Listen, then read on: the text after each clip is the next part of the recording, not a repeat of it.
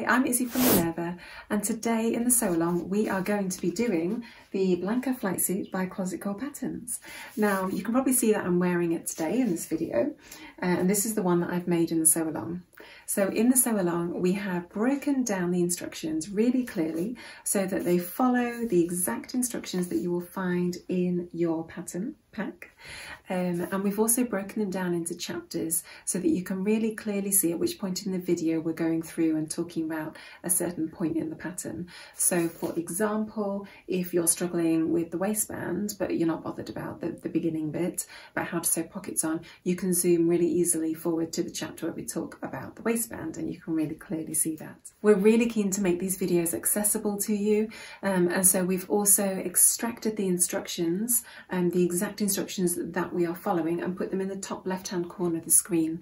So that makes it really easy for you to read, see what we're doing, compare it to your instructions, they'll be exactly the same, um, and then see exactly how I'm sewing that along for you.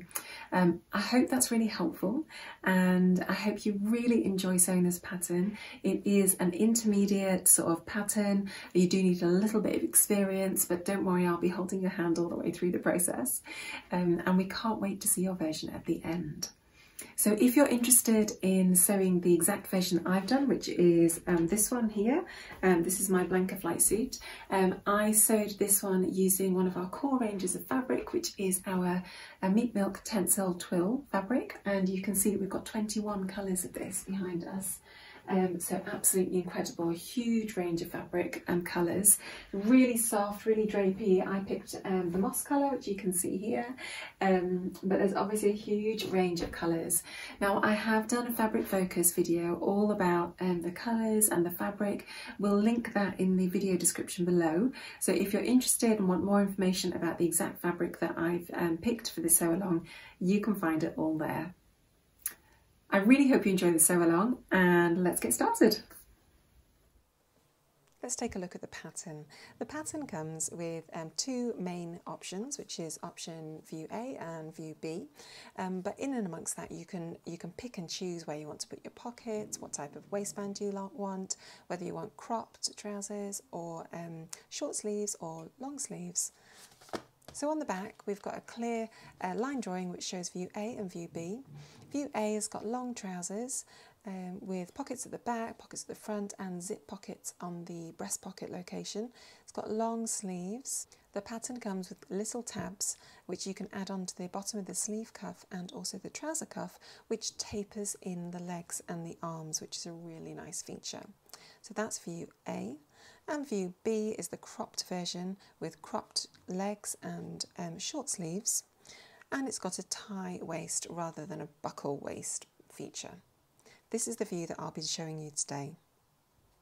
The fabric, it recommends denim, twill, canvas, linen, drapey fabric, um, tencel, twill, silk, anything. It's a very, very um, diverse pattern. I have sewn view A in twill before and that looked really nice. It was very structured um, because the fabric was quite um, thick and held its shape. But I'm really looking forward now to doing it in view B in a Tencel twill because that has a lot more drape to it and is much lighter for the summer months. Take a look at the size chart next and decide which band you fall into. Don't forget to measure yourself every time you do a new pattern because you never know what your body shape might be doing. um, with this we do need the bust, waist and hip measurements.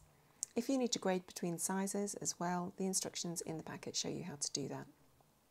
For view A, you obviously need different lengths of fabric depending on whether your fabric is 1.14 metres wide or 1.5 metres wide.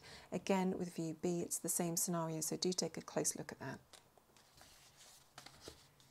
Okay, let's take a look at what is inside the packet. Inside the packet we have the instructions and also the pattern pieces. The instructions, as always, are very clear. Take a good read of those. Decide which features you want to do on your pattern. Take a look at the size chart. This one has really detailed finished garment measurements, which is really helpful for figuring out how this is going to fit you. Now, because it is a jumpsuit and all in one, the pattern does recommend that you do a practice version first, and I would thoroughly recommend that as well, just so that you get the right amount of ease between your bodice and your trousers. And then there's the fabric cutting diagrams, which is really helpful depending on which view you're doing. These are for view A and view B. The instructions talk really clearly about seam finishes and how to mark your fabric. Take a look at that. I won't talk you through that today. That's all in the instructions. There is some useful instructions here which talks about interfacing. Now obviously we know that piece E and G, which is the, the collar pieces, that they do need interfacing. But it's worth noting, and I will be doing this for my um, Tencel twill fabric, that it recommends that you do interfacing down the front, which is where the zip will be. This isn't necessary for thicker fabrics, but I do think for Tencel twill it will be useful. It recommends 19 mil wide interfacing to be ironed on just to the edges of piece A and piece C in those locations. So let's get started. For this Blanca pattern we will need obviously our pattern, our fabric, zip, interfacing and matching thread. For this pattern I've chosen to use the Meet Milk Smooth Drape Tencel Twill fabric and this is the moss colour. And to match that I've got the 561 Gutermann thread we have a fabric focus video which talks all about this particular fabric that I've chosen to make this Blanca flight suit in. So do take a look at that. That is tagged in the links below the video.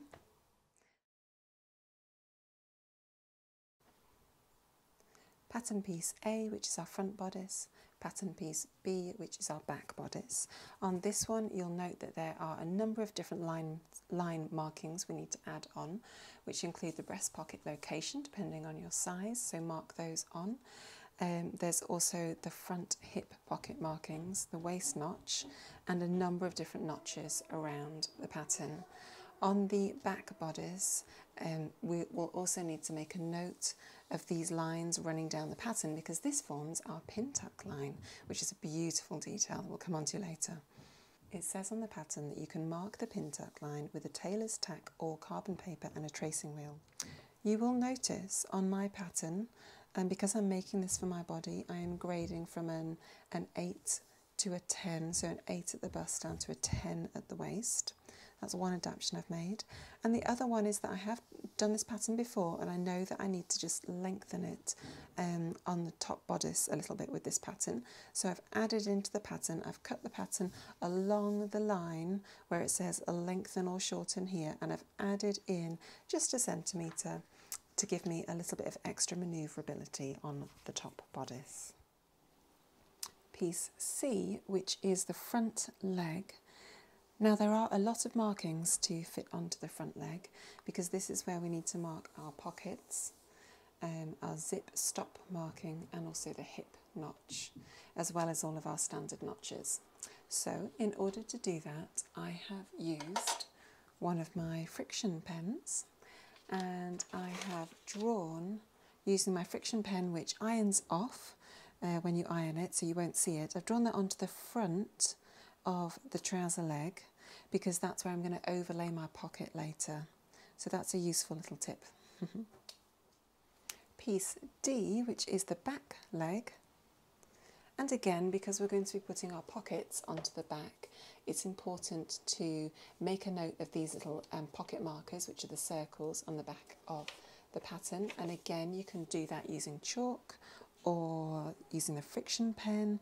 You can also just sew a little stitch in there, hand stitch a little stitch to, to demark where those little circles are and therefore where the pocket is going to be. With the trouser leg, obviously I'm cutting for the cropped view, but if you wanted to do the full length trousers, you could you would cut it at the bottom for view A, it clearly says, and cut here for crop leg view B, which is what I'll be doing. Pattern piece E, which is our back waistband, cut two in fabric and one in interfacing. and pattern piece F, which is our right zipper facing. Just cut one of these. Pattern piece G, which is our top collar, cut one in fabric and one in interfacing. And H, which is the under collar, cut two in the fabric.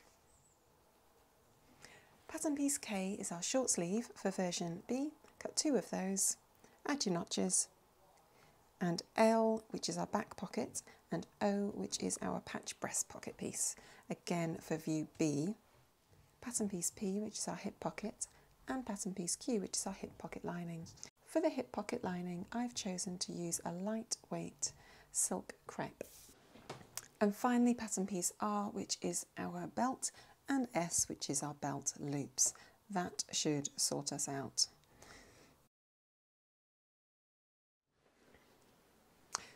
To begin with, we are going to interface pattern piece E. And so with the wrong side of the fabric facing up, we're going to attach and iron on the interfacing. The interfacing has one rough side and one smooth side. We're going to put the rough side facing down onto the wrong side of our fabric. And when you're interfacing, you just need a dry iron. You're just letting that glue all stick onto the fabric and reinforce it. Just hold it down for a few seconds, move it along. Pattern piece G also needs interfacing. Again, wrong sides facing up and the bumpy side of the interfacing facing down onto the wrong side of the fabric. Because I'm using Tencel Twill, my fabric has a lot of drape to it and the instructions say that for pattern piece A we should also just put some interfacing to strengthen the front opening. So with wrong sides facing up, I've cut out interfacing according to the instructions which is 1.9 centimetres wide and I'm just going to line that up.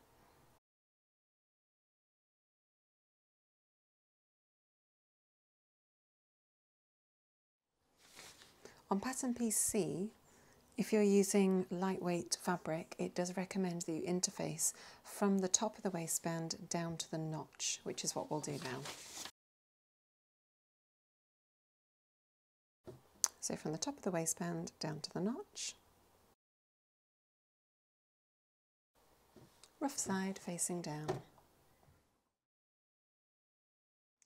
Pattern piece B calls for us to mark the pin tuck line with tailor's tacks or carbon paper and a tracing wheel. I'm choosing to use tailor's tacks, so I've got a long piece of contrasting thread. You can use embroidery thread if you want to make it even more clear and I'm just going to do some really big generous tacks. All this is doing is marking and helping me understand where I need to fold the fabric and iron it later.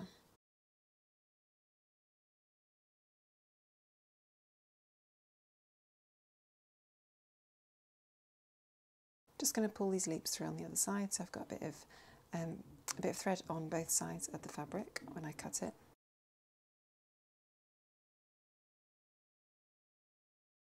Snipping the bits in the middle and gently pulling off the paper pattern.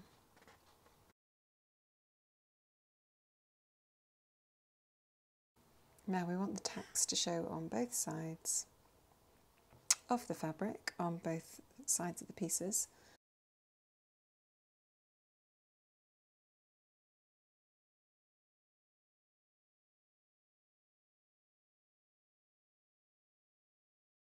Okay, and there we have it. We have our tailor's tacks down both sides of back piece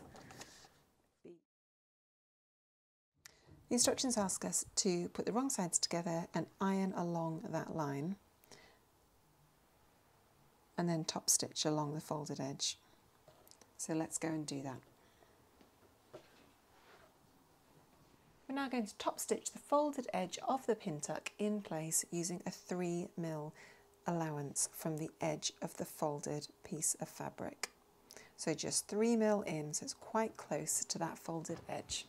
Don't forget that your sewing machine can be reduced from a stitch length of 2.5, which is our standard, down to 1.6. That's just a finer stitch.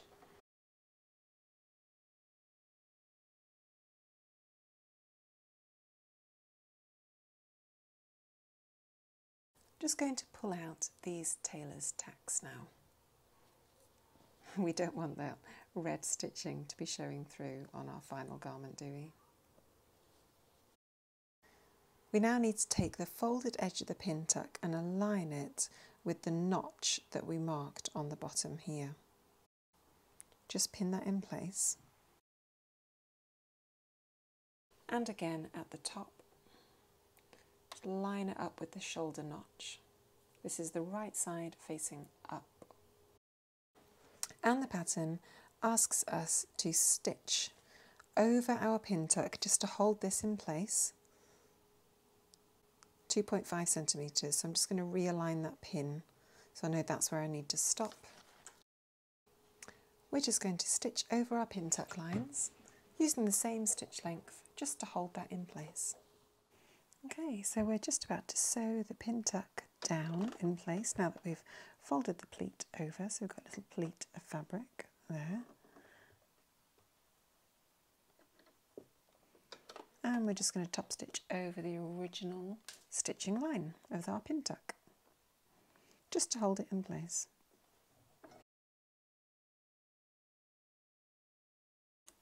And we'll do the same on the other side.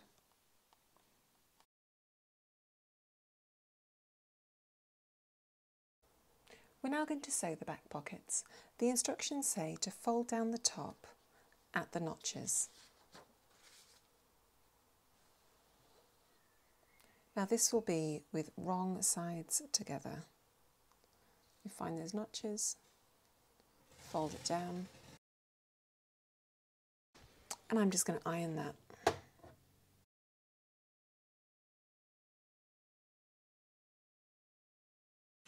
Then says to top stitch the folded edge in place approximately one inch down. So when you top stitch, you want to top stitch along the, with the front facing up so that you get the nice stitch on this side. So let's do that now.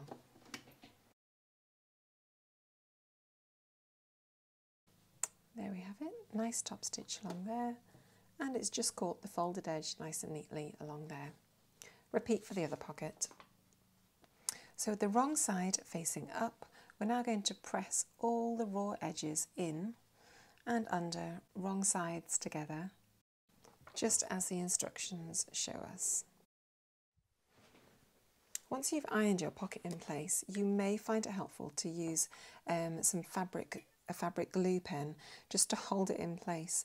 Now the fabric glue pen, um, when you put it in the washing machine, the glue just dissolves but it also just helps you hold things in place, especially if you've got bouncy fabric like I do. just hold that seam down. Doesn't have to hold it all the way down, this is just a temporary fix. Just helps the fabric not to run away with you though. And now with back leg piece D, right side facing up, we're going to place our pocket on the four markers that we've got one, two, three, four. The top corners align with the top ones, obviously, and the bottom ones should align just with the lower edge there. And then we're just going to pin it in place.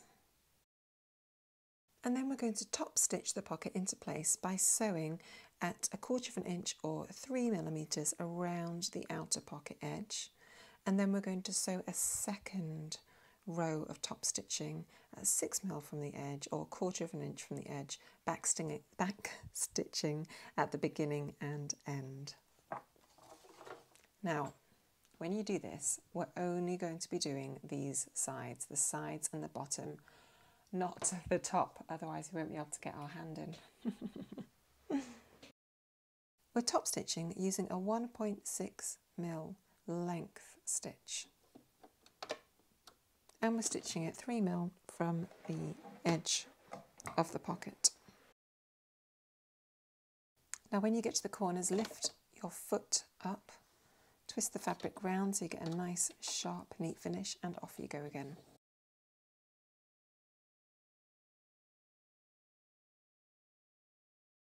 Okay, so we've stitched around it once with the top stitch at 3 mil and now we're going to stitch around it again with a parallel line of top stitching but this time at 6 mil.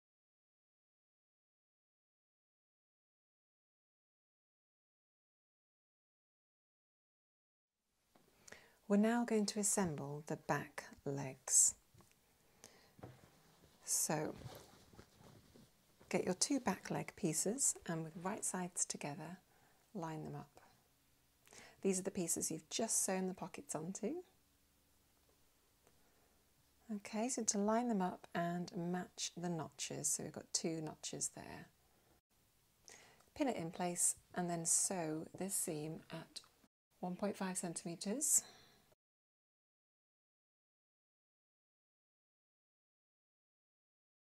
So I'm just going to stitch along this seam at a 1.5 seam allowance or 5 eighths of an inch.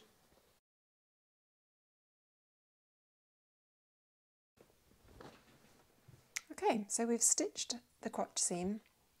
The pattern now calls for us to finish the seam. So as you can see, the fabric is beginning to fray already, so we need to finish it. And finishing it basically means that we need to make sure that it doesn't fray anymore. So there's um, three main ways we can do that with this seam. We can um, use a zigzag stitch on our sewing machine, just to zigzag along the edge.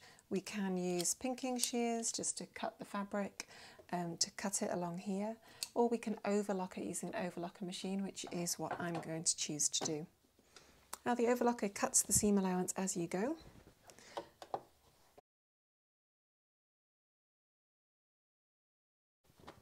And that's given us a really nice finish at that point. So the pattern asks us to iron this seam towards the left leg, which is this side, wrong side facing up, I'm going to use my tailor's ham to help me just get a really nice curve as I press that seam down. We've pressed the seam towards the left leg and now we want to stitch this seam down to the left leg. So we're going to turn it over so the right sides are facing up and this is our left leg. So we're just going to top stitch down this whole seam that we just sewed all the way down. We're going to top stitch in place on the left leg at 6 mil.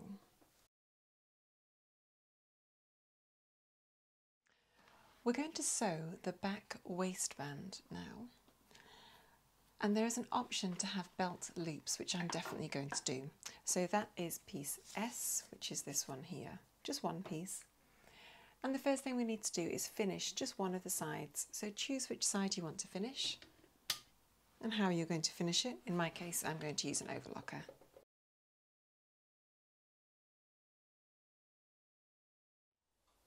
Can you see how this piece has two little notches in it? We're going to use those as guides to fold the fabric into thirds lengthways. And I'm just going to iron that in place as well.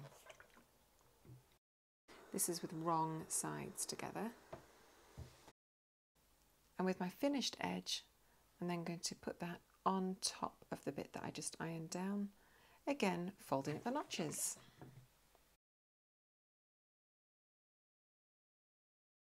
The instructions are now asking us to top stitch down one side and then down the other side using a 3 mil offset from the folded edge. Because this is a top stitch, we're doing 1.6 mil stitch length. Because we're top stitching, we're using a 1.6 mils. Because we're top stitching, we will use a 1.6 mil. Why can't I say this? Because we're top stitching, we will use a 1.6 mil stitch length. We need to cut the belt loop into three pieces, each 9 centimetres long. So you will have a little bit of leftover at the end. That's absolutely fine.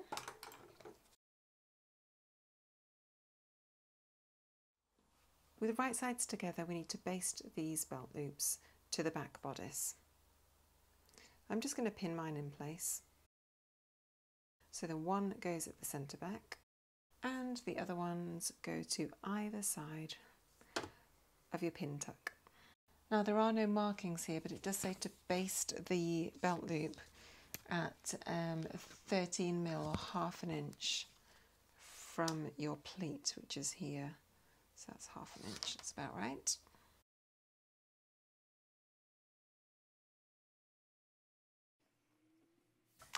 Okay, so we have basted those three belt loops in place.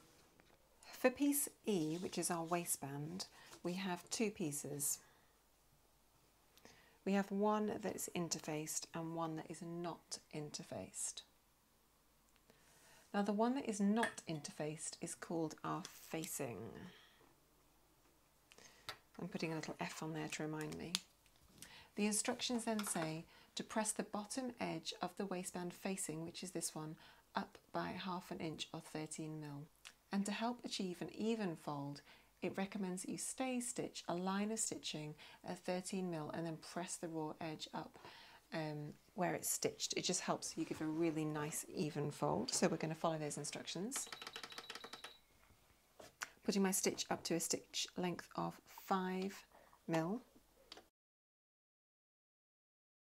I'm ironing this with wrong sides together. I'm just following the stitch line that I just sewed. We're going to get our back bodice piece and we're going to attach the waistband to the bottom of the back bodice, making sure to capture the belt loops um, in the stitching as we go. So we're going to make sure the belt loops are facing up. And with our other waistband piece, the one that we've not ironed yet, be careful to make sure that you align the waistband so that it's curving down that way, so that it's like that. Okay, and these notches here will line up with the bodice piece the back bodice.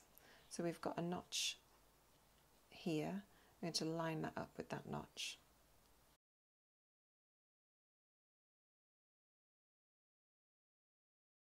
The instructions ask us just to baste this in place because we're going to resew the seam in a minute as you'll see. So using a long stitch, just sew that seam within the seam allowance, baste that within baste that within the seam allowance.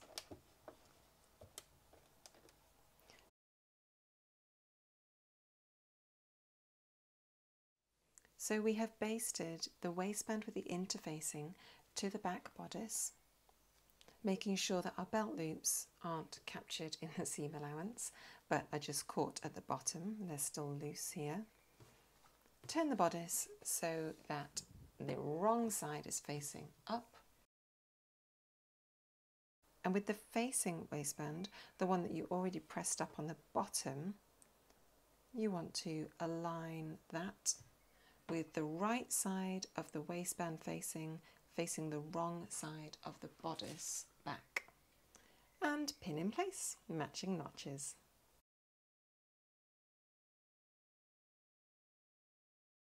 We're now going to sew the seam through all three pieces of fabric, the waistband facing, the back bodice and the waistband with the interfacing on it.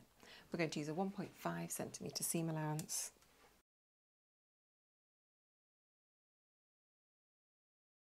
Now the pattern asks us to grade the seam allowance here. Now we know that when we grade a seam allowance, we always want the longest bit of our seam to be on the bit that's going to be touching the kind of outside of the fabric. So bearing in mind that the interfaced side is the side that is going to be facing and is on the right side, I am going to grade the waistband facing and then the back bodice, just so they're sort of staggered lengths. this one's a bit harder to cut because it's got the belt loops in it as well.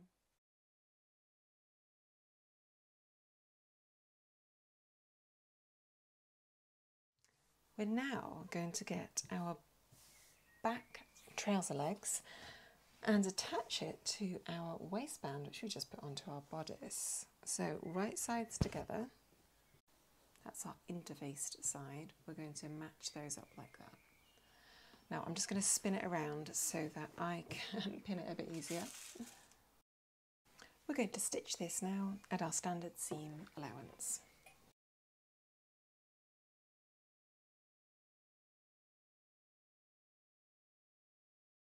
Now it says to press that seam allowance up towards the waistband, so it's captured in the waistband, and then grade that as well. So let's do that as well. We are literally just trying to iron this waistband up. Now remember when we grade, we are we leave the longest length to the bit that will be showing. So in this scenario, I'm actually going to reduce the back legs, the back leg seam allowance by half. Um, as you can see, we have a nice looking waistband on the front here. This is the right side facing up. But if we turn it over, our waistband at the back is still looking a little bit raw. So we're going to use our waistband facing just to capture all those seams into the waistband. Okay, so it does say to pin from the right side. Personally, I find that quite hard because it's hard to see where you're actually pinning. What we're trying to do is to align the folded edge of the waistband so that it just sits over the stitch line that we can see from the waistband seam allowance. Now I'm just going to pin this in place a few times with the wrong side facing up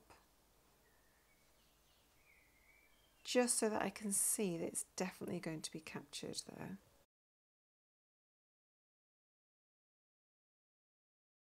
I'm then going to turn it over because we're going to want to stitch it from this side so we get a nice neat top stitch on the top. And I'm just going to pin it in place again just to make sure it all holds. This bit is actually really tricky to get um, really nice and neat and that's why I'm spending a bit of time just trying to get it really nice. Just going to check that on the other side. Caught, all the pins are caught except for that one. Okay.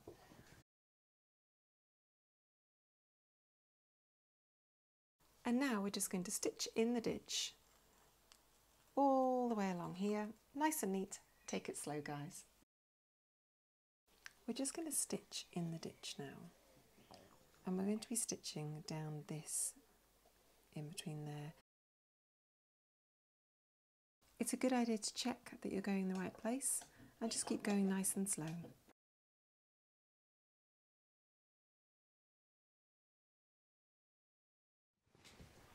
The final thing we need to do is to get these belt loops in place. So we're just tucking them under so they sit really nicely.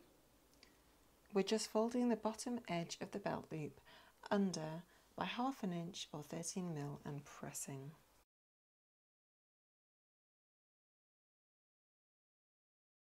And now we just need to sew this in place by back stitching and stitching again in place along each of these belt loops right at the bottom. So we're going to be stitching across the bottom on each of them. So I've stitched the top and the bottom of this belt loop at a distance of 3 mil from the folded edge on both the top and the bottom.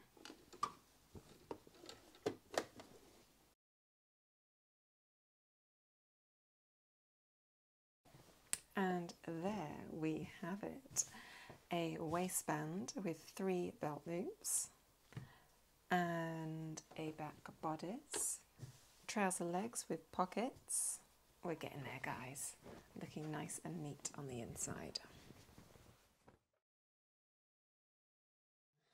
The instructions at this point split into two options. We either sew a zippered pocket for view A or we move on to view B's instructions, which is just the, the patch breast pockets, which is the one that I'm going to do.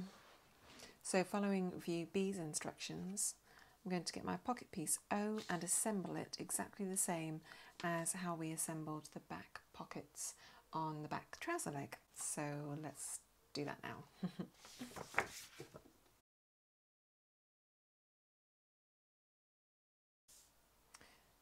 So we've ironed the top of the pocket under and then under again, uh, folding it at the notch at the sides. And we're just going to top stitch down the front of that on this side.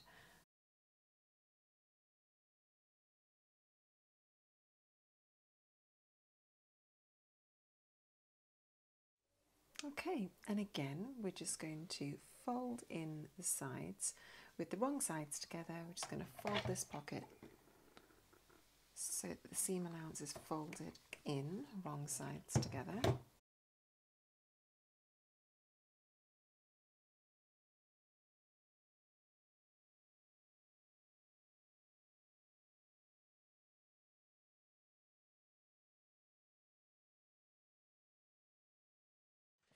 Right, at this point, we need to be sewing these patch breast pockets onto the front bodice, which is pattern piece A.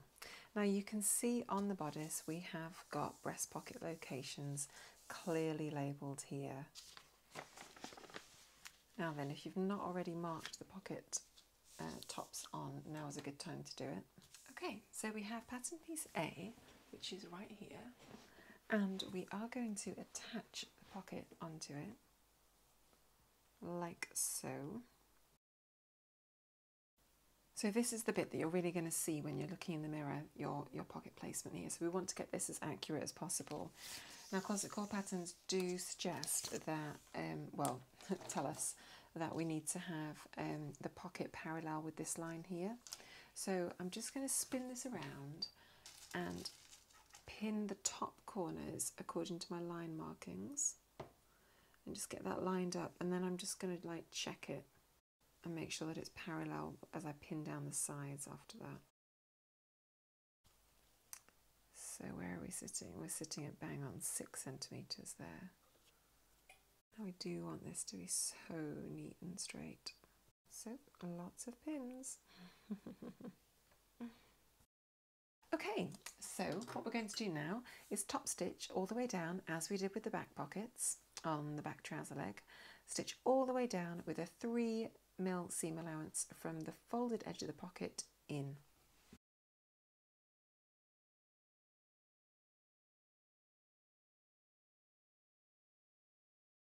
So we've top stitched one row of um, stitching all the way around the pocket and the instructions also require us to um, sew a parallel length of stitches all the way around that pocket exactly the same as we did for the back pockets.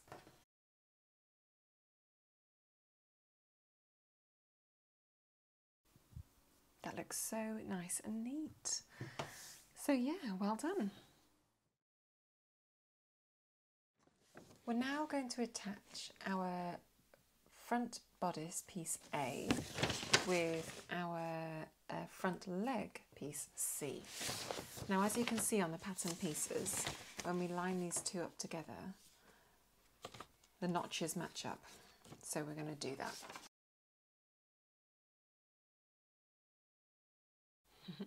Make sure you're lining up the uh, crotch with the centre front. I'm just going to twist that round so I can see where the notches are.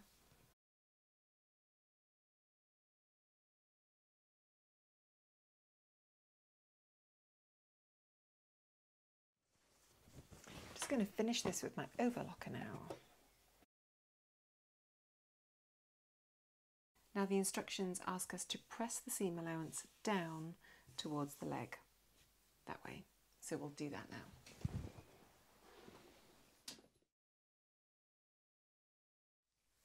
We're going to move on to sew the hip pockets now. And the first thing the instructions tell us to do is to make sure that we've transferred this top stitching line um, onto the right side of the pocket.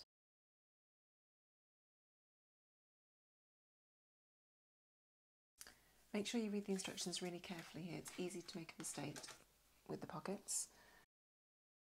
We've got our lining, piece Q, and our um, pocket piece P.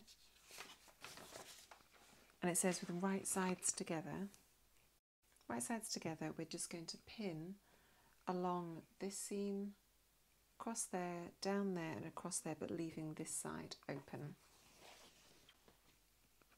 Now the interesting thing about this is that Closet Core Patterns have drafted the pocket lining, which is uh, this bit facing up here, a little bit smaller than the actual pocket itself, which means that it will then, when we turn it right sides out, the pocket lining will just naturally roll in a little bit more.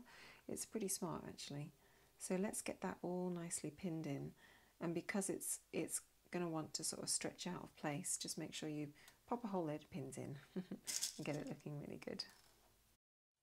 We're just going to sew along this seam here, leaving this one open at a 13 mil seam allowance or half an inch.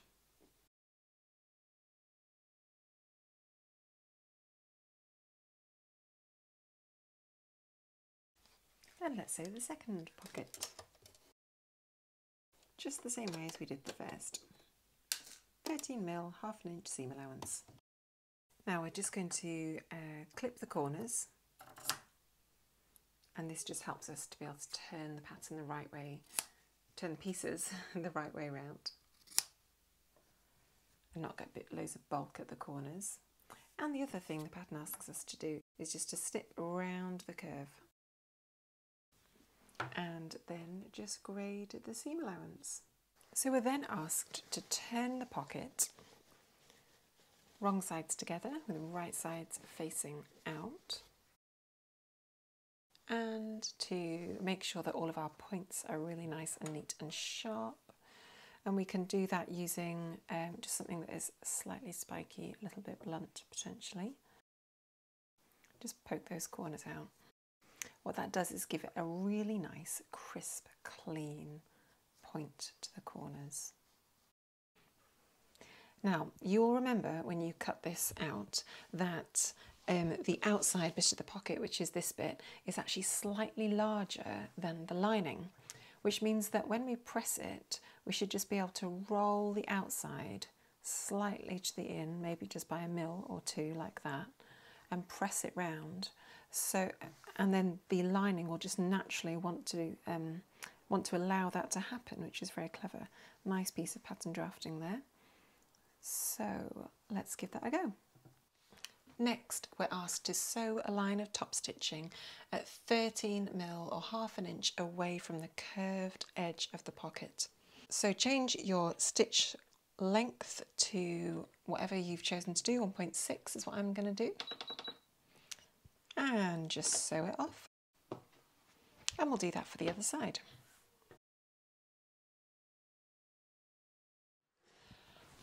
And now it's time to get our front piece, which we've already sewn onto the legs. Um, and we need to position the pocket onto the front bit of the leg.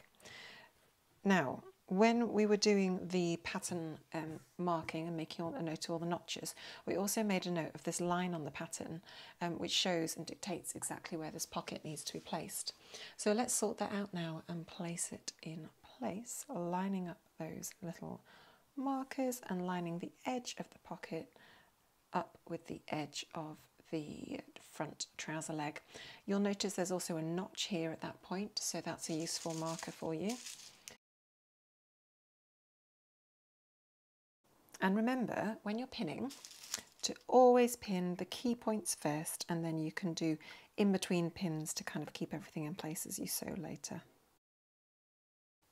Now, you do want this to be pretty accurate, simply because it is the front.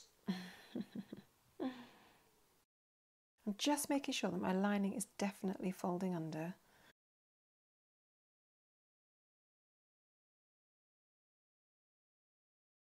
Now that we've pinned the pocket in place, we actually need to sew the pocket onto the front leg.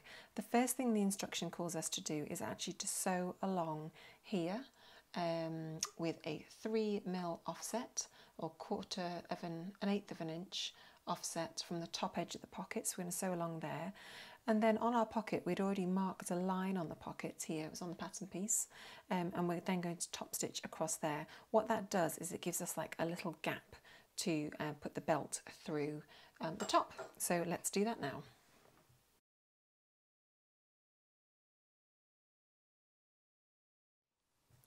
Okay, so now that we've sewn the two uh, top top stitches on the top of the pocket, we've now got this lovely gap um, for our waistband tie to go through at a later date. And we need to sew the rest of the pocket onto the front pocket leg, front leg, and we're just going to top stitch all the way down this side and across this side um, with a 3 mil offset from the edge of the pocket. Once we've done that, we're then going to do a second row of stitching, um, which is 6 mil from the first line of stitching. So let's do that first. So the first one starts at this point, goes down and then across at 3 mil offset from the edge of the pocket.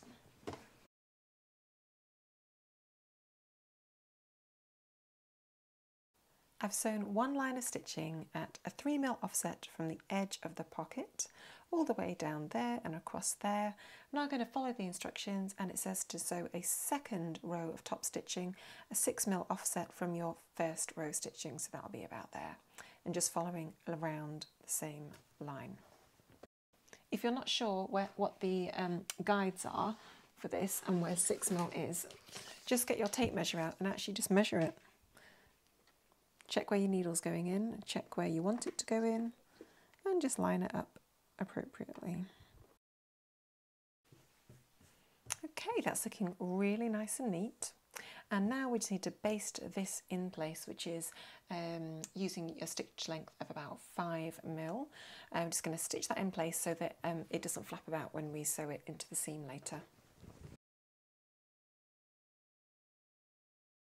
Now the next step is that we need to sew um, bar tacks at the top and the bottom of the waistband loop because this is obviously going to get a lot of tension as we um, run our waistband through there and back out again. So let's do that now. Um, every sewing machine does this differently. Um, for mine, um, Personally, I've got a buttonhole foot that I put onto my sewing machine and then I change my setting and my stitch um, to the appropriate stitch. Everyone's sewing machine will be different. So have a read of your manual, get that out, take a look at how you do that. If your machine is pretty basic and it doesn't have the option to do bar tacking, don't worry about that. I would just recommend that maybe you just go backwards and forwards a little bit on the ends just to strengthen that. You could also do a really narrow um, zigzag stitch um, why don't you just get like a little piece of fabric and just do a few trial runs and see what uh, what you think looks good. If you don't know what a bar tack looks like, um, have a look on Google or have a look at your jeans. Often around the, the zip bit of the jeans, there's a lot of bar tacking around there. So whatever you need to do now, bar tack the top and the bottom of that waistband. Now, my machine, when it does the bar tacks, it starts um, if I, if I put it in this way up facing my machine like this way, it will start here and then it goes backwards and then comes forwards and finishes here. So when I'm putting my um, pocket into the machine, I'm going to make sure that I start at the edge on all of them. So I'll do these two like that and then I'll flip so the fabric around and start at this corner and then and that edge so that I make sure that the bar tack extends right from the edge all the way along. I've got my buttonhole foot on and I've set it to the settings that I want. And I'm just going to show you what my machine does, although obviously yours may well be different. So, what I want to do is to be lining up the edge of the fabric with exactly where the pin, sorry, exactly where the needle is going to sit in initially. So let's do it up here, this one just having a good look just to make sure it's all lining up nicely. That looks pretty good to me. And we're just going to go for it.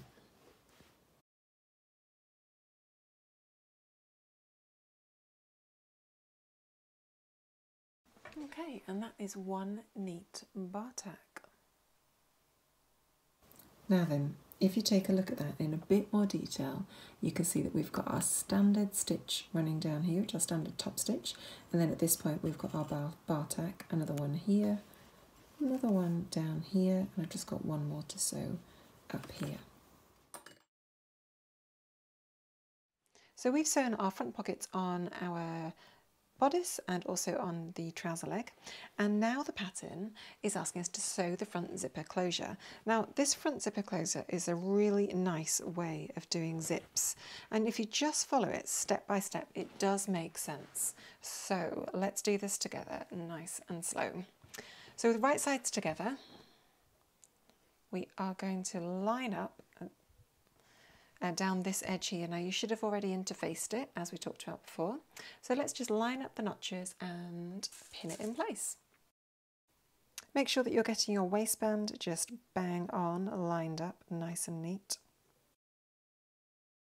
Now what the pattern asks us to do is to actually sew from the top down to that circle line using a 19 mil, which is almost two centimetres um, seam allowance um, or three quarter of an inch seam allowance down this seam here. And what they're asking us to do is actually to baste stitch, which will be your um, long stitch, so five mil length stitch, all the way down to that point. When you hit that point, you then change the length of your stitch to a standard, which for me is 2.5, just to continue all the way along there. So we are stitching offset at 19 mil in our sewing machine. Again, if you're not confident about where 19 mil is on your sewing machine, just get your tape measure and measure it out.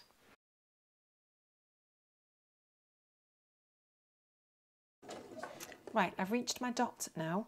Um, so at this point, I'm going to uh, just take the needle out of the machine, change my stitch length to a standard 2.5 and continue around the rest of the curve at a 2.5 um, mil stitch length.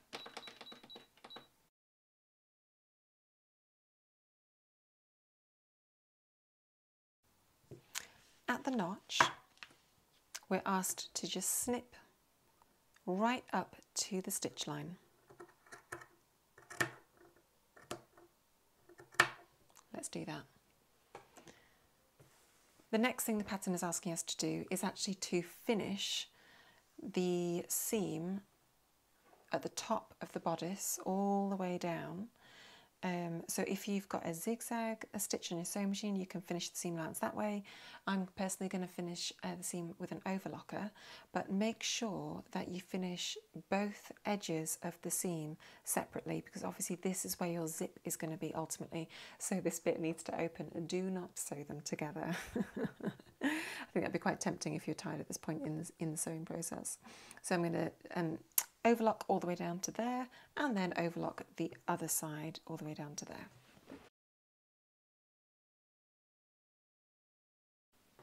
And let's do the other side.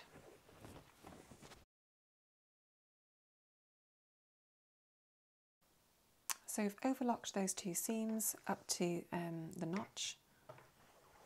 Okay, and then we've got this curve of the crotch seam down here, the front crotch, and it asks for us just to trim it down um, to 10 mil. So you can snip it along there. So you've just got a one centimetre seam allowance um, ultimately, so basically halving it. And at this point, you can overlock these two pieces of fabric together. You don't have to do them separately like you did those two separately. So because my overlocker trims as it sews, I'm just going to put this into the overlocker and make sure that I'm trimming off um, just under a centimetre.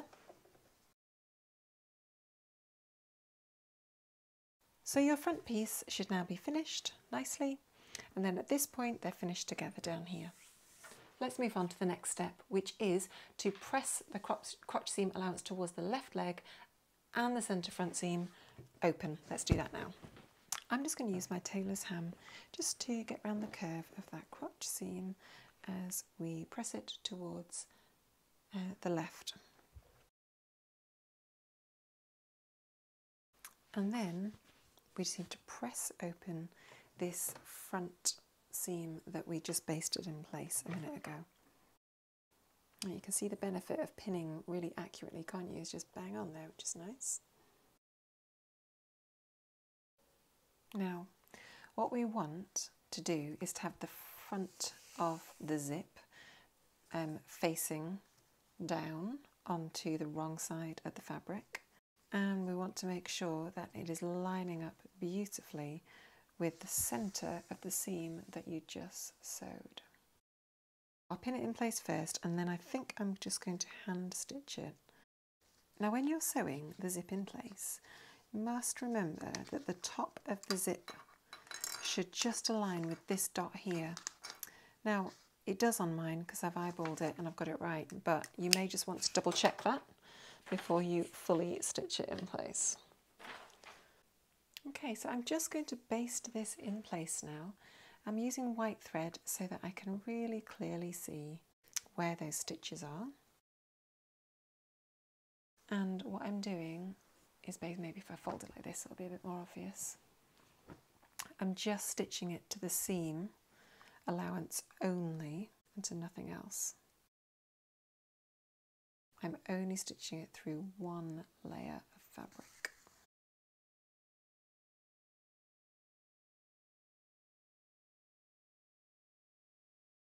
We have basted the seam allowance on the zip along the bodice just to the seam allowance and halfway down the front leg. And at this point we need to make a note of where that circle dot was, uh, which is the bottom of the zip, so we want the bottom of the zip to be, and we need to make a little note of that. So I'm just going to baste that in place so that when I turn it over, I can see really clearly where the full stop of the zip needs to be. From the right side, we're now going to top stitch the zipper in place on both sides of that seam allowance, uh, offsetting our stitch 6mm from the centre seam. Now we're going to stitch from the top all the way down to the point that we've just marked here, which is the bottom of our zip. And at that point, we're just going to backstitch and stop. We're then going to top stitch down the other side and do exactly the same. Okay, so I'm switching out my standard foot for my zipper foot.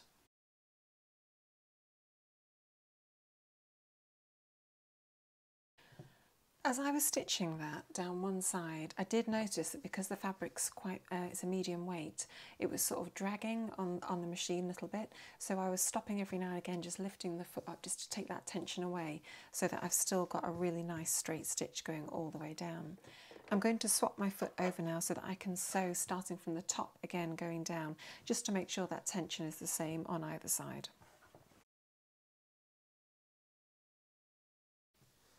So we've top stitched once on either side of the zip, sewing through the seam and the zip, seam allowance and the zip obviously, and uh, we've done that from the front. And now the pattern is asking us to do another row of stitching just on the left hand side as you're wearing it, so this will be the left hand side as you wear it, um, 6 mil from um, the stitch that you've already just sewn. So that's pretty straightforward. Let's do it now. The next piece we're going to sew with is pattern piece F, which is our right zipper facing. Now we've only cut one of these and the instructions say, with right sides together, fold the upper facing F in half, matching the long raw edges. So with right sides facing, we're just going to make a note of where that notch is. And we're just going to pin that in place just like that. And again on the bottom side. And down here, there's another little notch.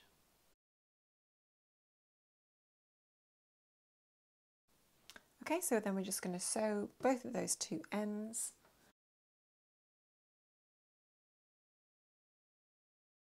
Then it says just to trim it down and snip the corners. We're then going to turn it right side out, just this way. Just going to poke those corners out with my little stick here. and the other side. And then we're just going to iron it.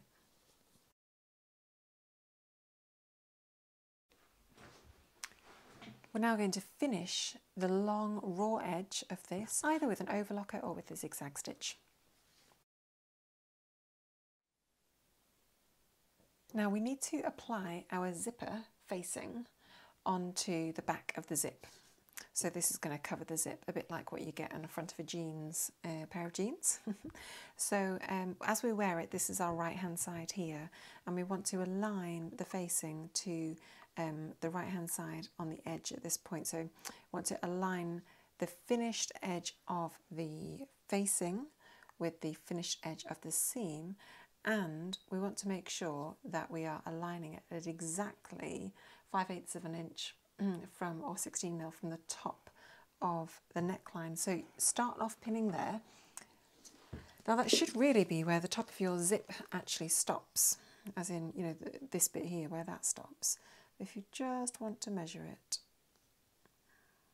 yeah, that's bang on. So I'm just going to pin that in place. Right, and the instructions also say that it should just line up on that side as well perfectly. I'm pinning it through all layers.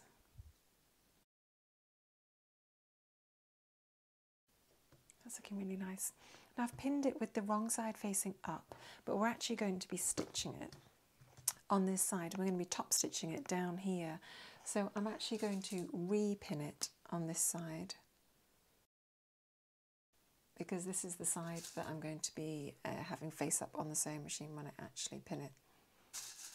when I actually sew it, I should say.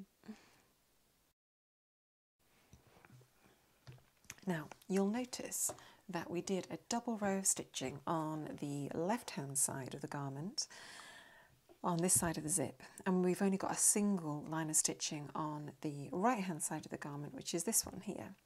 So we're now going to stitch uh, using a top stitch 6 mil away from the first line of uh, top stitching that we did on the right hand side and then that's going to mirror exactly what we've already done on the left hand side. So we're going to stitch right from the top down to our marker point down here.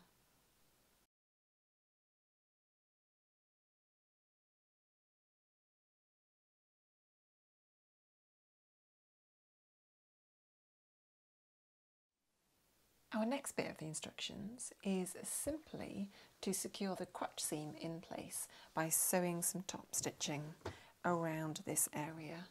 So we have already pressed that seam to the left hand side as we're wearing it, which is this side.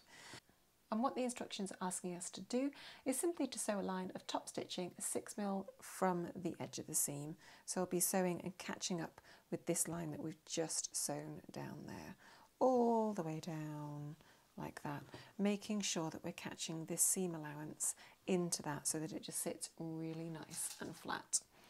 If you want to at this point, you can just sort of pin it in place just to make sure that it's going to ride along your sewing machine nicely. Make sure when you're sewing this seam that you also capture the zip facing so that it stays down. I'm actually just going to pin that in place now and I'll repin it on the other side in a minute.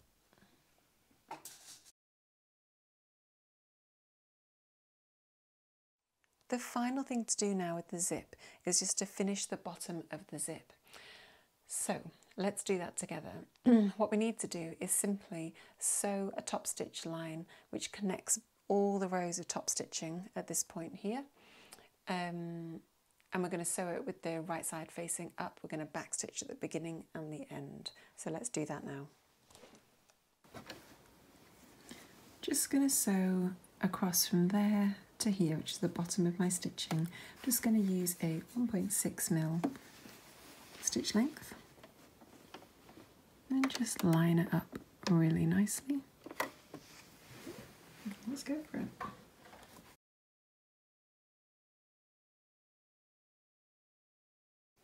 Okay, so we've sewn that across there.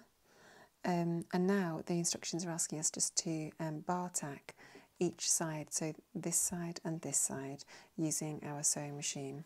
So I'm going to um, change my sewing machine foot.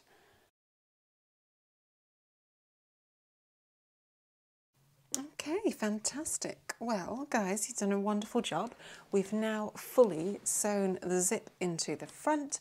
If you haven't already, the final step to do is just to remove the basting stitches, which are the ones that sewed this seam together. So let's do that now. Just do this really carefully. You do not want to be um, pulling the fabric out, so just take it slow.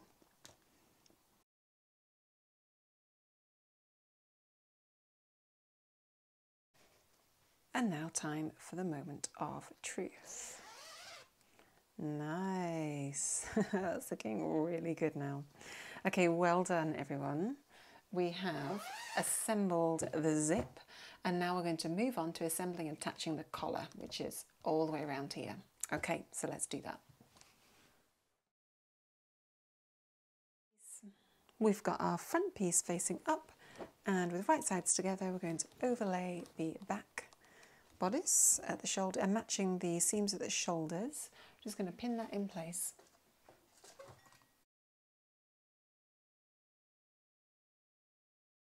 Now that we've sewn those seams, we are now called to finish the seam, which I'm going to do with an overlocker, and then press to the back and top stitch. So let's finish the seam first. This fabric is feeling so nice and drapey, absolutely gorgeous. Right, so we're going to press the seam towards the back. Now, I'm actually going to use my tailor's ham here just because it's easier to kind of get a feel for it that way. So I'm going to press it that way towards the back where the pleat is. Obviously the front has got the zip. And the same on the other side. And now that we've pressed those seams towards the back, we're just going to turn it over and top stitch just to keep that um, seam in place on the back side. And next, we just need to stay stitch around the neckline.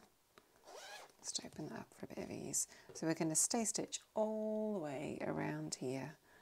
And that's just to um, keep the shape of the neckline in place. So we're just going to stay stitch it um, just inside the seam allowance, so um, maybe about one centimetre from the edge of the fabric.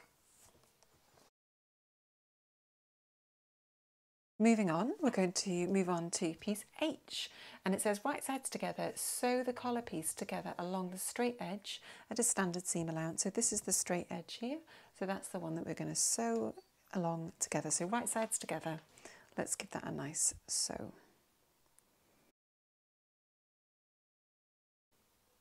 Then you need to open it up, open up the seam allowance and just press that in place. Moving on to piece G, this is now the top collar and the instructions ask us to sew a line of stay stitching at 16 mil along the notched neckline seam. So that's here. What we're going to do is that that simply just gives us um, a guide to when we're ironing it later so that we can fold it up in place. So this is the notched edge down here. You can see it's got the shoulder notch there and you should have the notches. Although obviously if you've interfaced them like I have, you may just struggle to see them a little bit.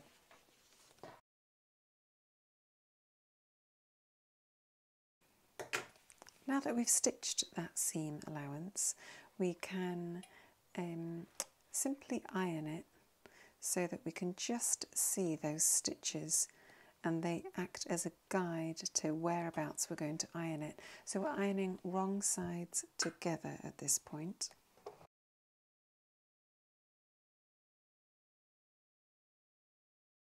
The instructions also say that we can um, clip into the seam allowance as necessary without cutting into the stitching line. So you can see um, there's a bit of tension down here and also up here.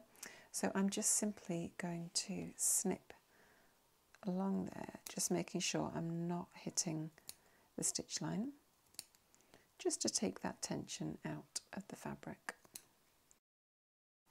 It's just sitting a bit flatter now, isn't it? We have our piece G, which is our top collar, and H, which is our under collar, and these two pieces are going to make up our collar. So the next thing we need to do is, with right sides together, pin the top collar which is this one to the under collar. So this is the right side. I'm just going to lay this over, anticipating that it's going to line up beautifully. now because my fabric is quite drapey, I'm just pinning it probably a little bit more than you'd need to if you were using a woven fabric that, it was a bit heavier. Um, but as I said, mine just seems to pull out of shape a little bit more. It's going to give it a lovely drape when we actually wear it. Can't wait to wear this now. It's not quite looking like a full garment yet, is it? But once we get this collar on, and it's just the sleeves and the hemming to do, isn't it? Okay, so we've pinned piece G and H together, and now we're simply just going to sew around the top, leaving the bottom bit open. We're going to sew that at a standard seam allowance.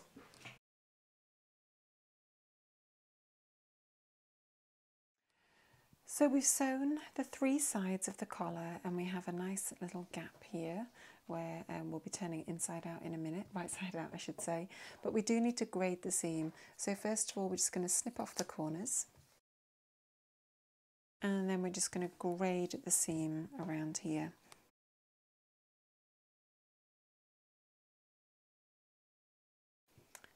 Once we've done that, we're going to turn the collar the right way round. And using something sharp, I've just got my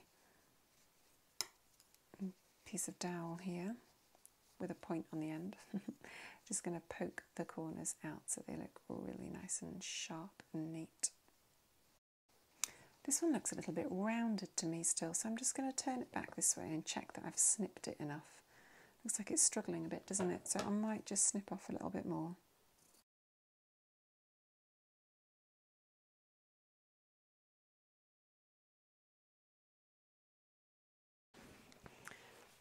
So we've turned the collar the right way round and now we're just being asked to press it in place.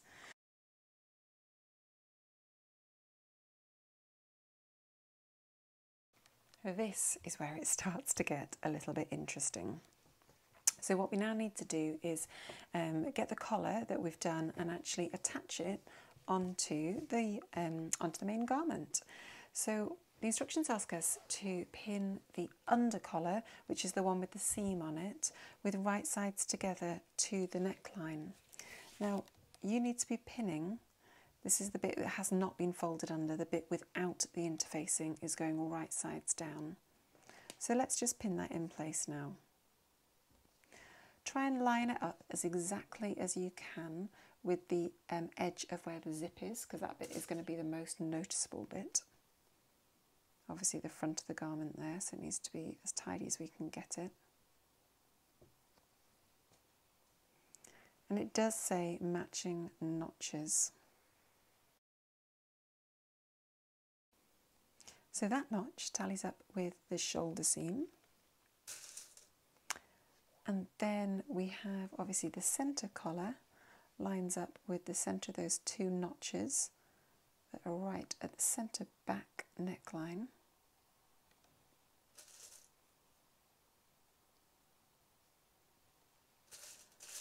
And then as we bring that collar round, we have another notch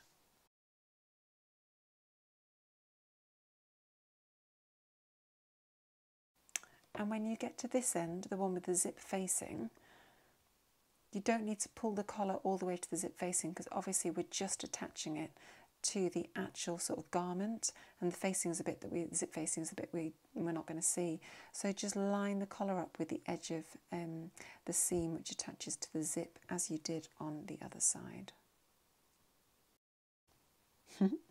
Easier said than done.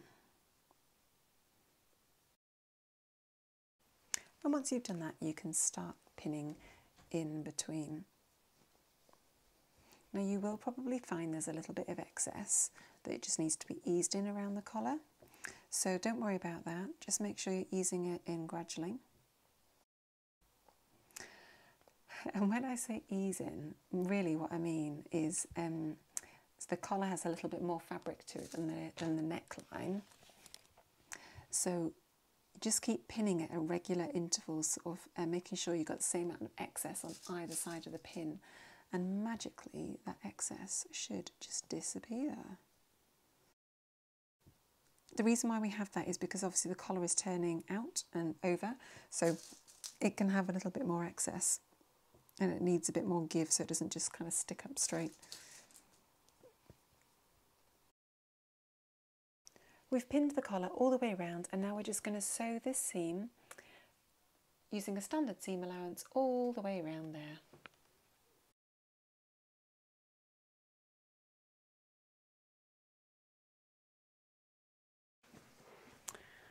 At this point, once you've sewn the collar on, you just want to check and make sure that you haven't got any tucks along the edge of the collar.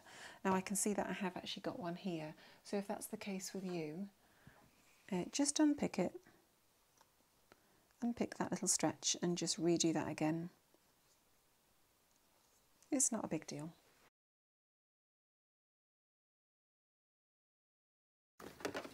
Now we've got our collar piece and we're just going to sew and stitch uh, with a 1.5 centimetre offset from, uh, from that side. Um, but obviously at this point where we've got our collar um, and that we just need to pull it back a little bit so that we can get the needle right into there, right where the edge of that turnover of the top collar is. So let's get that lined up and looking pretty good. Okay. Let's go for it.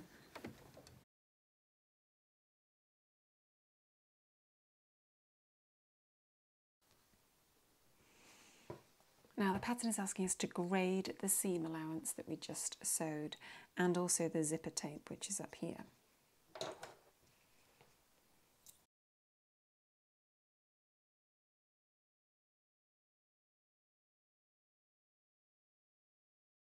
So we now have our collar attached on one side, this side, um, and we've graded the seam, but we now need to sew the um, top collar onto the inside of the bodice and the, the neckline. So this can be a little bit tricky to get really neat. So what I would suggest, which I often suggest at these points, is to hand stitch it. Um, first of all, I'm just going to pin it in place these handy pins. Um, and I just want to make sure that it's sitting really nicely, specifically along these areas over here. If you've got any loose threads, if you have any loose threads, make sure you trim those, especially in the corners up here and here, otherwise they might start poking through later and these corners of the collar can get a bit tricky, guys. Okay. So I'm going to pin it in place and then I'm going to hand baste it before I actually stitch it. And what I'm doing is I'm just making sure that the stitch line um, is covered by the seam allowance of the collar here.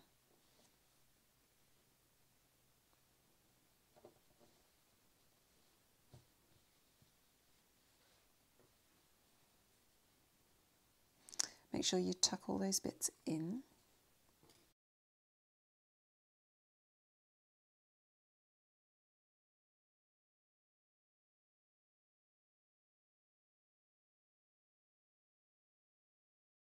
I've basted it along the collar uh, just to hold it in place while I top stitch it now, uh, 3 mil from the edge of this seam. And then that should neatly just catch um, on the inside of this over here.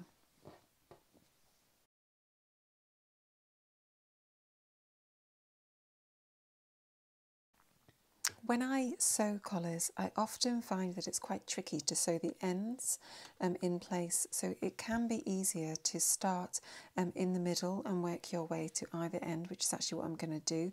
So I'm going to start stitching here and work my way to the end, and then start stitching there and work my way to that end, just because sometimes there's so much um, fabric at the ends that it can get a little bit bulky and a little bit tricky for your sewing machine to actually sew over, especially if you've got a more basic sewing machine little top tip for you to choose if you want to follow or not.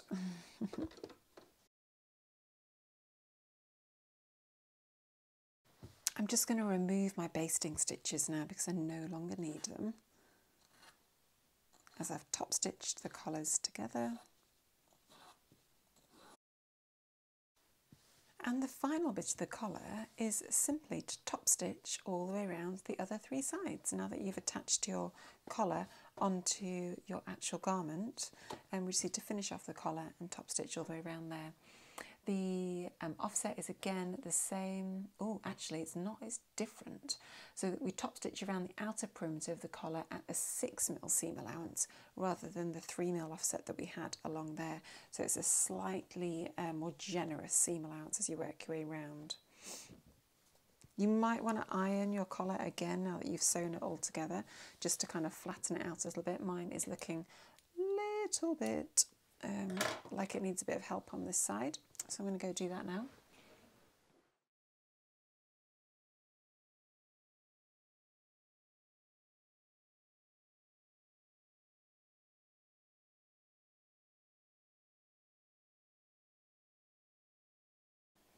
Well done on completing your collar. That should be looking super smart, just like that. Oh, I cannot wait to wear this. It's going to look so cool, isn't it? Loving it. Yep, looking neat there, there. Oh, it's like so nice. Love that detail of that and just how the whole zip process like sews together so nicely with this pattern. Um, I think it's a really smart way of doing the zip, so well done Closet Core. Okay, we will be moving on to sew the inseam and the side seams next, so I'll talk you through that next.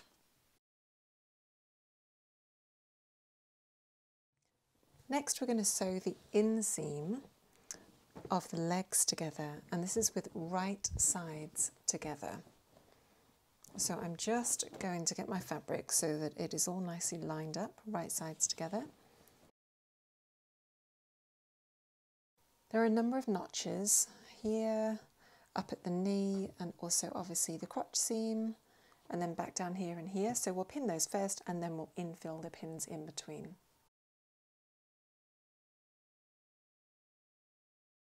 So I've pinned the inseam completely. I'm now just going to stitch it with a standard seam allowance.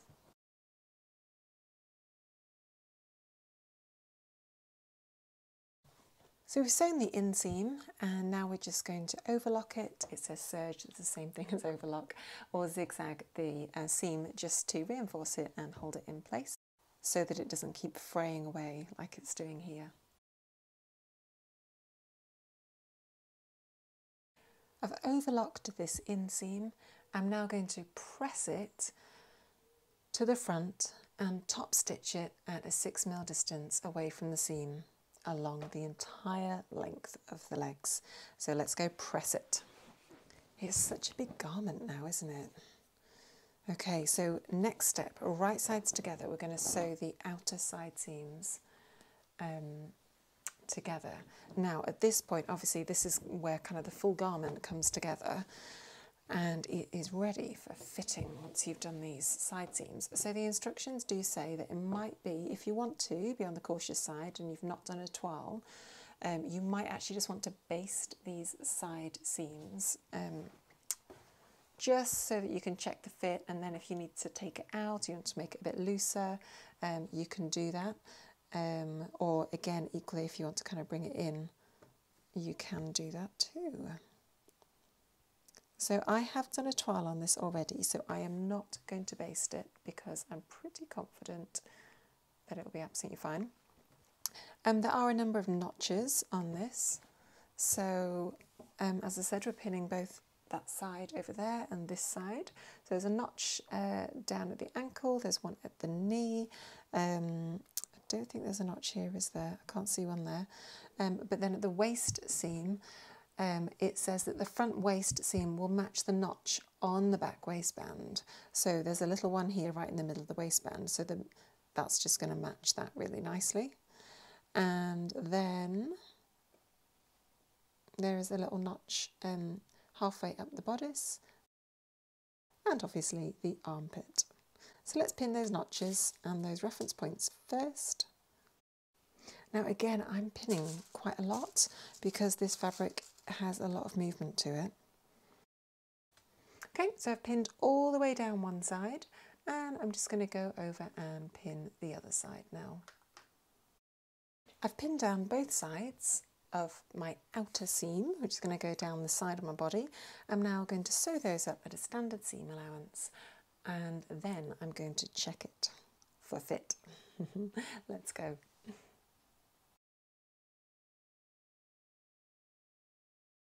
Excellent. Now that you've sewn your outer side seams, you can actually take this garment away and try it on.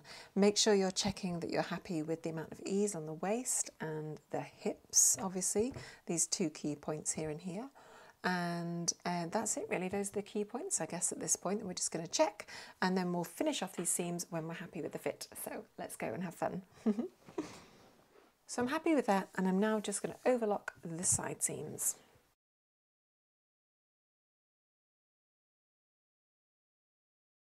Now that we've overlocked those uh, long, long side seams, um, the instructions now ask us just to finish it, which we've done, we've overlocked it, and then press them to the back. So let's do that now.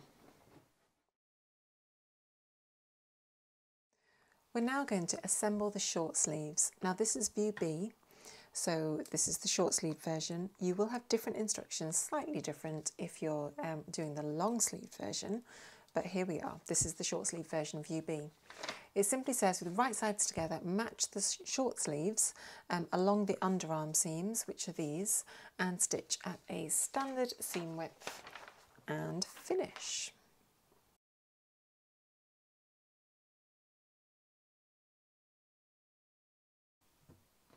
And we'll repeat for the other sleeve. I'm now just going to overlock uh, the edges that I've just sewn.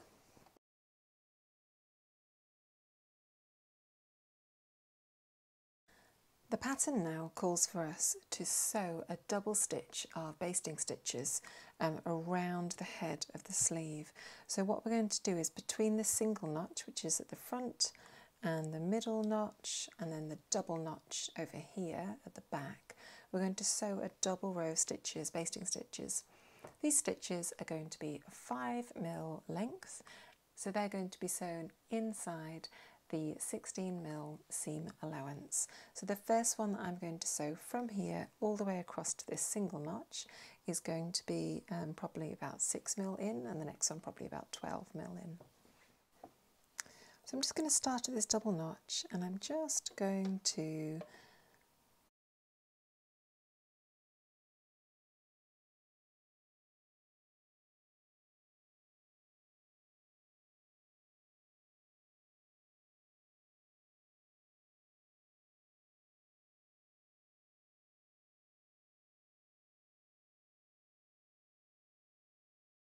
and I'm going to do long stitches at a 5 mil stitch length all the way until I hit this centre notch up here.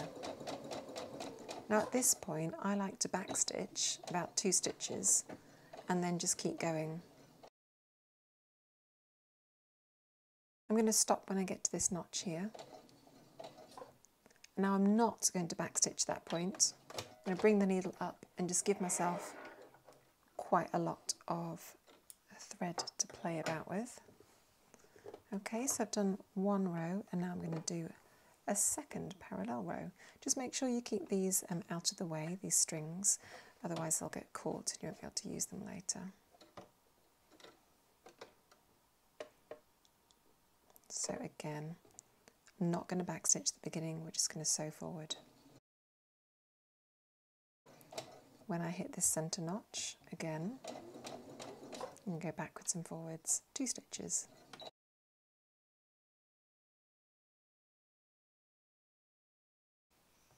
And we'll do the same for the other sleeve.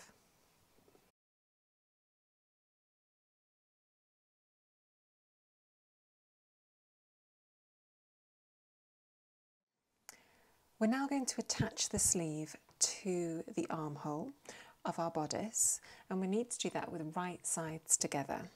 So let's turn the sleeve so that it's the right way round and then we're going to insert the sleeve effectively so it's kind of sat like that because that is how you want it to be um, ultimately. Mm-hmm. So on the sleeve, you'll find that there are uh, two notches on the back and one notch on the front of the sleeve here, and these will align with the two notches on the back of the um, armhole and one notch on the front of the armhole. So with right sides together, we're just going to insert this sleeve into that armhole and the first one I'm going to pin let me just move this a bit closer to me, is this one here. So I'm, I'm going to line up the seams at that point, making sure that's nice and neatly lined up. I'm then going to line up the double notches on the sleeve with the double notch on the back and put a pin in there. Next one is to line up this single notch, which is where you did your back stitching um, of your basting stitches with the seam on the shoulder. That's nice. And then finally the single notch, which is here, with the single notch on the front of the bodice.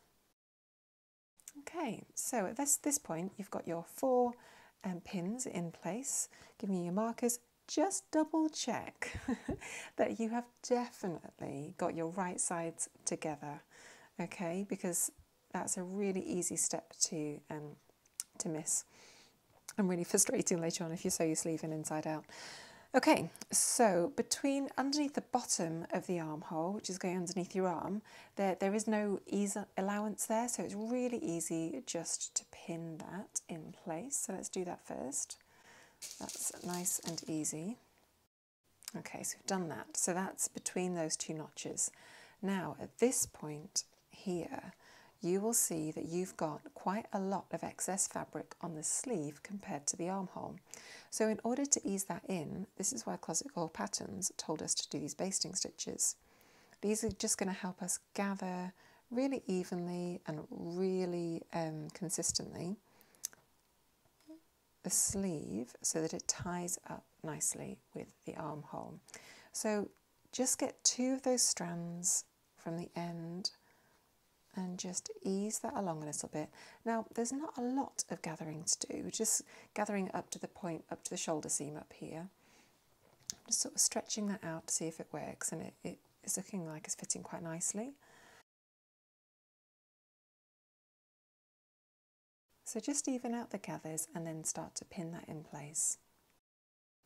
Now the reason why you have um, a little bit more fabric on the sleeve compared to the armhole is simply that you need um, a reasonable amount of ease when you're moving your arm around because you move your arm backwards and forwards um, and so this area does get quite a lot of tension um, and also then it just helps the sleeve kind of sit on the top of your shoulder and it gives you like a neater finish there so it's not a round finish but you've actually almost got like a joint there.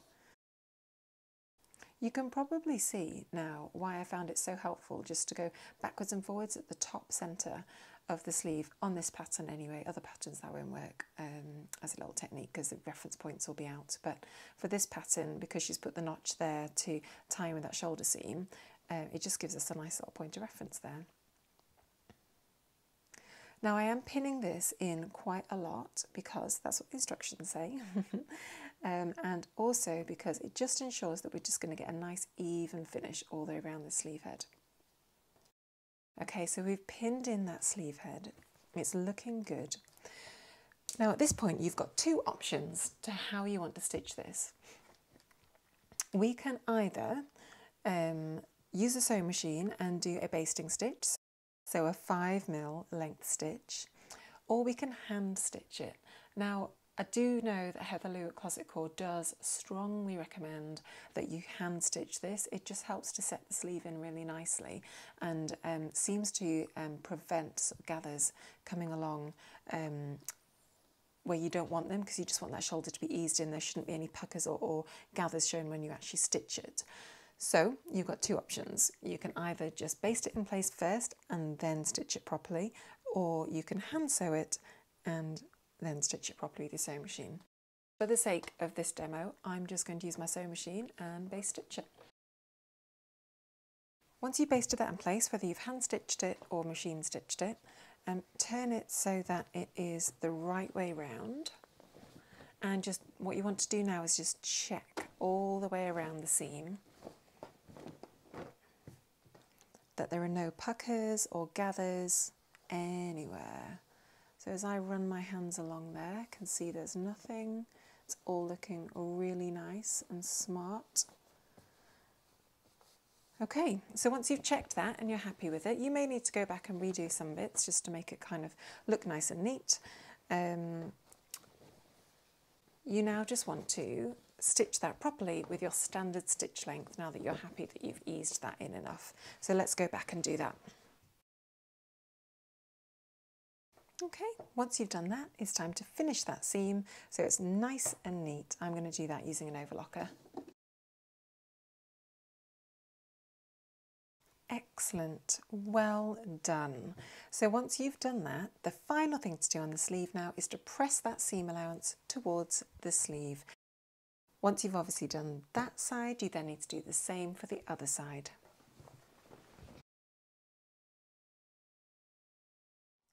So a huge well done for getting this far. We're almost there, there's only a few more steps to go. So we've sewn both of our sleeves in um, and now it's time to hem the sleeves and also the legs at the bottom. Try these on now and I would suggest that you uh, pin up the hems on both the sleeves and the legs so that um, you get a feel for the length before you try it on. So pin that up, you're um, rolling it under by uh, 13 mil, half an inch, and then roll it under a second time by one inch or uh, 25 mil. Um, so pin that, try it on, and then come back and we'll iron it in place. Okay, so we've got our sleeve here, and I'm just going to carefully mark on where um, half an inch or 13 mil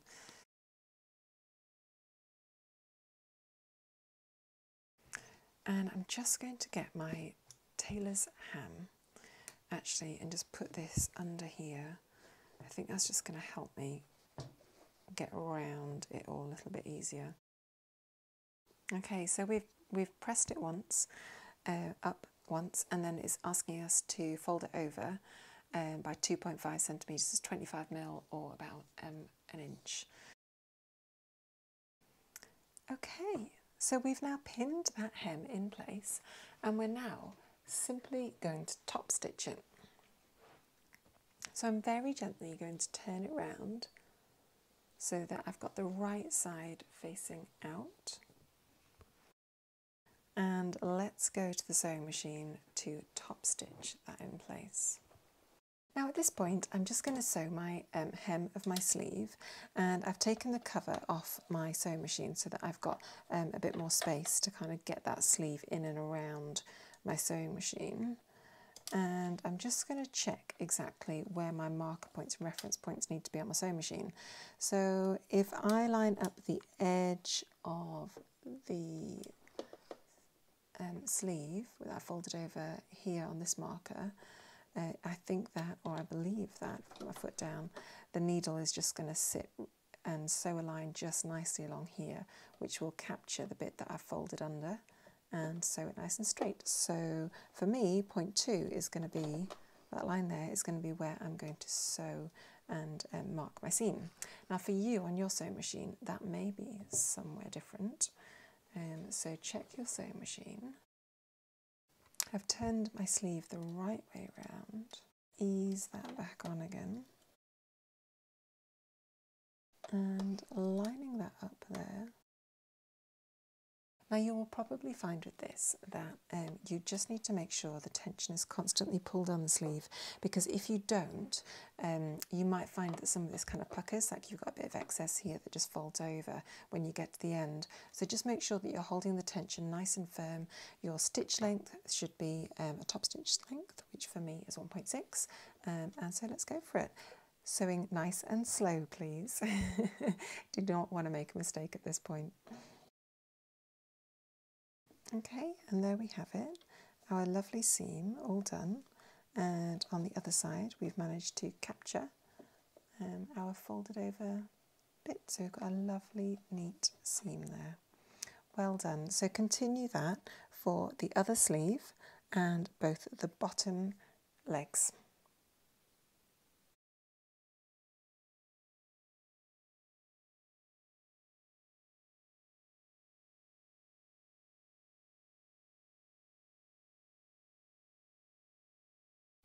So once you've pressed your edges like that, the instructions then simply say to fold the uh, belt loop together lengthwise um, and press it in place.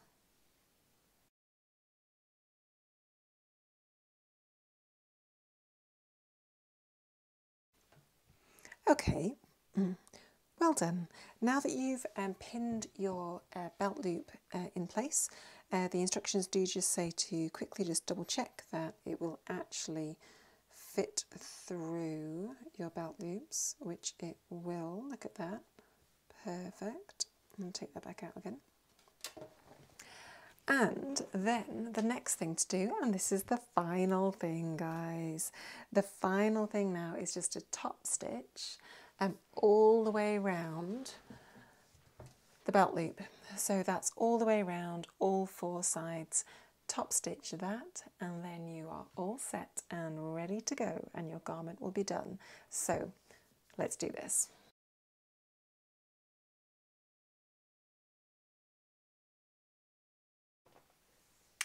And that, my friends, is a finished garment. Well done.